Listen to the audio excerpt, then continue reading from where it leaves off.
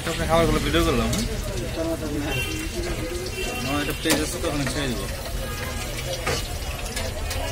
কি কি আইটেম আছে? Noodles pasta chicken fry french fry.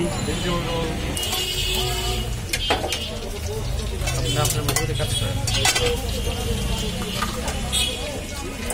কত হয়েছে রোল আর মুরগির